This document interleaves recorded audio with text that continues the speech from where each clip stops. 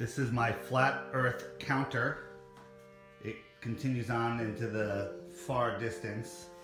I have my camera filming across the surface slightly above it. This line here is the path of the sun and I have this bottle here to show you that it's just over, oops, just over three fingers above it. As we go down, we have our tropical forest. We have our blue glass cutting board and some more mountains, if you will, as the sun continues to the end. Three fingers, we have a level line. I'm gonna flip the camera around, stick it here. I'm gonna dim the lights and travel to the sun. Move my bottles out of the way.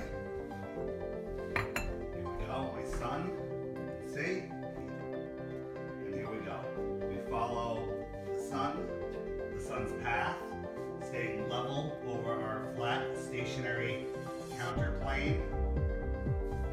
We cruise over the lower mountains.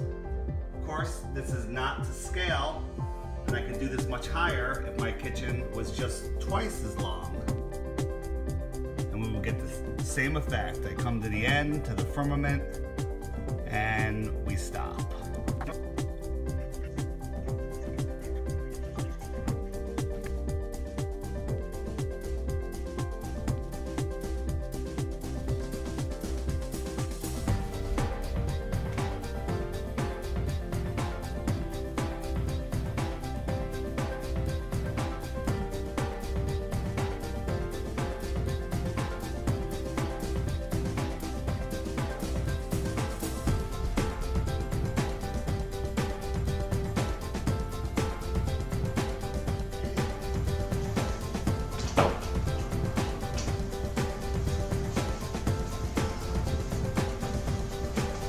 There's the camera.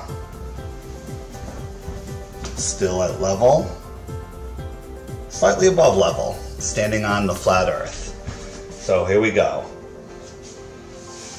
I'm going along the sun's path, keeping it level to the flat earth.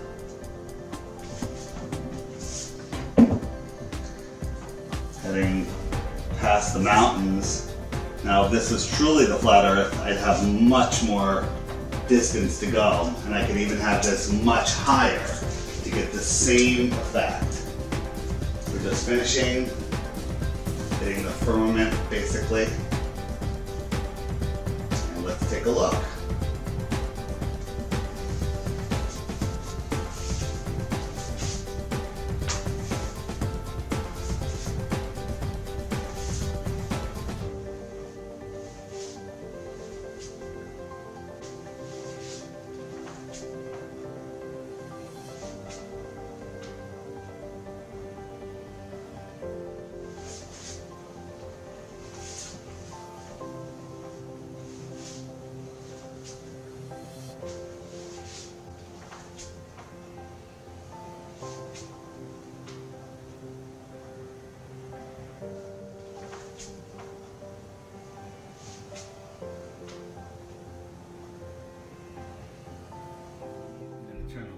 On.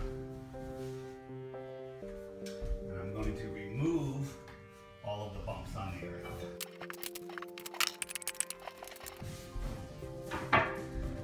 To show that I am above the counter, flat earth, I'm going to just slide this along a perfectly smooth flat earth. and I'm guessing that it doesn't set.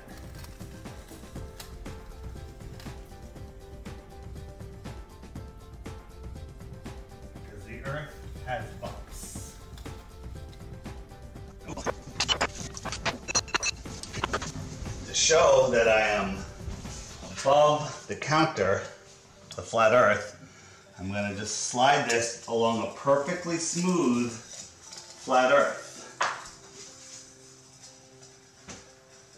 And I'm guessing that it doesn't set.